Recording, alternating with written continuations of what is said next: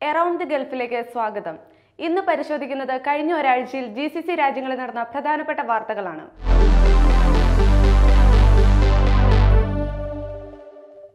രാജ്യത്തെ ഗതാഗത കുരുക്ക് പരിഹരിക്കുന്നതിന്റെ ഭാഗമായി ഡ്രൈവിംഗ് ലൈസൻസ് മാനദണ്ഡങ്ങൾ കുവൈത്ത് ഗതാഗത വകുപ്പ് കർശനമാക്കുകയാണ്.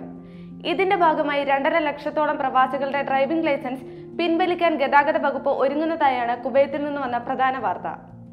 ഒരു മാസത്തിനുള്ളിൽ ഇതിനുള്ള നടപടികൾ ആരംഭിക്കുമെന്നാണ് സൂചന. തൊഴിൽ മാറ്റവും മറ്റു കാരണങ്ങളാലും യോഗ്യതാ പരിധിക്ക് പുറത്തായ പ്രവാസികളുടെ ഡ്രൈവിംഗ് ലൈസൻസ് ആയിരിക്കും പ്രധാനമായും പിൻവലിക്കുക. പ്രവാസം അവസാനിച്ച് മടങ്ങിയവർ കോവിഡ് രൂക്ഷമായ സമയത്ത് നാട്ടിൽ കുടുങ്ങി ഇഖാമ നഷ്ടമായവർ എന്നിവരുടെ ലൈസൻസുകളും അസാധുവാകും.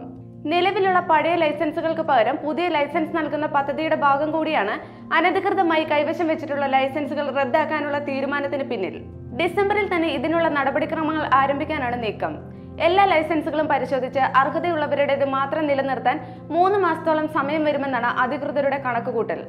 പ്രവാസികൾക്ക് ഡ്രൈവിംഗ് ലൈസൻസ് ലഭിക്കുന്നതിന് ചുരുങ്ങിയത് അറുന്നൂറ് ദിനാർ ശമ്പളം ബിരുദം തുടർച്ചയായി രണ്ട് വർഷം താമസം എന്നിവയാണ് ഉപാധി. ഇത്തരത്തിൽ ലൈസൻസ് നേടിയിട്ട് ജോലി മാറ്റമോ അതിനനുസൃതമായ കാരണത്താലോ ഈ പരിധിക്ക് പുറത്താവുന്നവർ ലൈസൻസ് തിരിച്ചേൽപ്പിക്കേണ്ടതുണ്ട്. എന്നാൽ ചില തസ്തികകളിൽ ജോലി ചെയ്യുന്നതിന് ഉപാധി കൂടാതെ ലൈസൻസ് അനുവദിക്കുകയും ചെയ്യും. വിദേശത്തേക്ക് യാത്ര ചെയ്യുന്ന പൗരന്മാർക്കും രാജ്യത്തേക്ക് പ്രവേശിക്കുന്ന പ്രവാസികൾക്കും ബൂസ്റ്റർ ഡോസ് നിർബന്ധമാക്കുന്നതിനെ കുറിച്ച് പഠനം നടത്തുമെന്ന് കുവൈത്ത് സർക്കാർ വൃത്തങ്ങൾ അറിയിച്ചതാണ് മറ്റൊരു പ്രധാന വാർത്ത. ഇക്കാര്യത്തിൽ തീരുമാനമായാൽ പ്രവാസികൾക്ക് അത് വലിയൊരു തിരിച്ചടിയാകും. സർക്കാർ തലങ്ങളിൽ ഇക്കാര്യത്തെക്കുറിച്ച് വിശദമായ പഠനം നടക്കുകയാണെന്നും അതിനുശേഷം മാത്രമേ ഇക്കാര്യത്തിൽ അന്തിമ തീരുമാനം എടുക്കുകയുള്ളൂ എന്നാണ് അധികൃതർ നൽകുന്ന സൂചന. ഈ വിഷയത്തെക്കുറിച്ചുള്ള പഠനം നടക്കുകയാണെന്നും ഇതുടൻ നടപ്പാക്കാനുള്ള സാധ്യത തള്ളിക്കളയാനാകില്ലെന്നും അധികൃതർ വ്യക്തമാക്കി.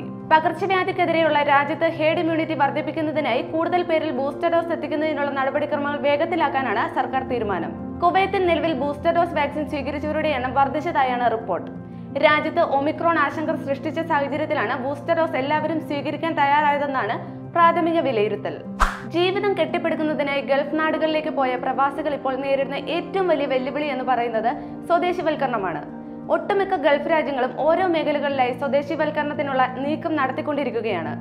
ഇത്തരത്തിൽ ബാങ്കിംഗ് ഇൻഷുറൻസ് എന്നീ മേഖലകളിൽ സ്വദേശിവൽക്കരണം നടപ്പാക്കാൻ ഒരുങ്ങുകയാണ് യു എയും ഇത് രാജ്യത്തെ മലയാളികൾ ഉൾപ്പെടെയുള്ള പ്രവാസികളുടെ നിലനിൽപ്പിന് ഏറെ ഭീഷണി ഉയർത്തുന്ന ഒന്നാണ്. ഈ മേഖലകളിൽ യോഗ്യരായ സ്വദേശികളെ നിയമിക്കുന്നത് സംബന്ധിച്ച പഠനം നടത്തി അന്തിമ തീരുമാനമെടുക്കാൻ കസർ അൽ വദനിൽ നടന്ന സെൻട്രൽ ബാങ്ക് യോഗത്തിൽ നിർദ്ദേശം നൽകുകയും ചെയ്തു.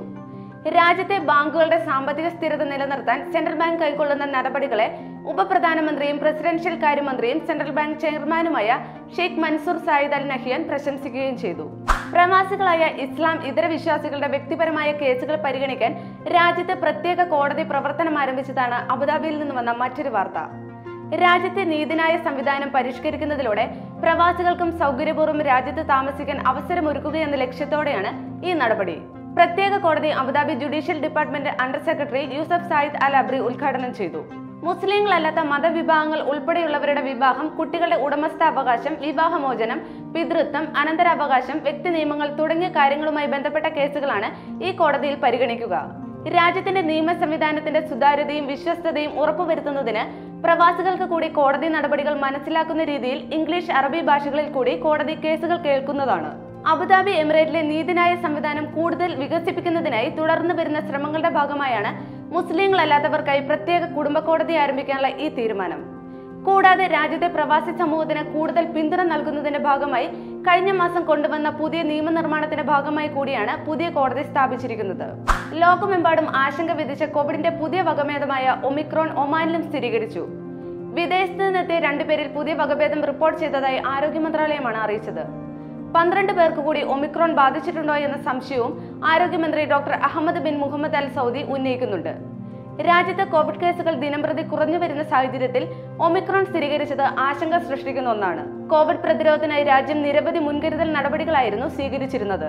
ഒമിക്രോൺ വകഭേദം സ്ഥിരീകരിച്ചതോടെ പതിനെട്ട് വയസ്സും അതിനു മുകളിൽ പ്രായമുള്ളവർക്കും ബൂസ്റ്റർ ഡോസ് നൽകാൻ അനുവദിക്കുന്നതുൾപ്പെടെയുള്ള പുതിയ തീരുമാനങ്ങൾ സുപ്രീം കമ്മിറ്റി പുറപ്പെടുവിച്ചു.